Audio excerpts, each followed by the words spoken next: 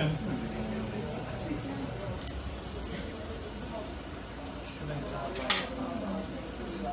Evet, İnkur mevkiinde vahşi hayvan saldırısına uğrayan karacamız e, yaralı bir şekilde kliniğimize ulaştı. E, ulaştıran hayvansever Mehmet Çiçek e, tarafından e, Doğa Koruma e, Milli Parklar ve Doğa Koruma Şube Müdürlüğü ekiplerince bize getirildi.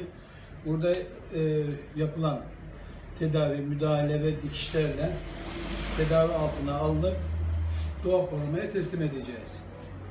Şu anda gayet e, iyi, bayağı bir sıkıntı yaşamış.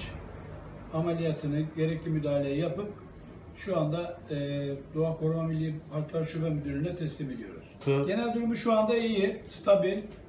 İnşallah e, daha iyi olacağını düşünüyoruz. Doğa korumaya teslim edip yine tedavisi belli bir e, tedavi sürecinden sonra doğaya e, geri salınacağını düşünüyoruz.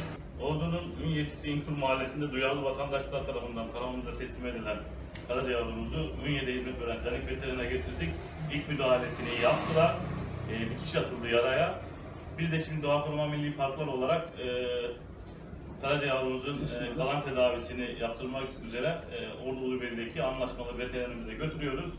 Karaca yavrusu tamamen iyileştikten sonra tekrar doğaya salacağız inşallah. Ki 112 e, acil ihbar hattını vatandaşlarımızın araması e, doğru olur. Bizim ekiplerimiz de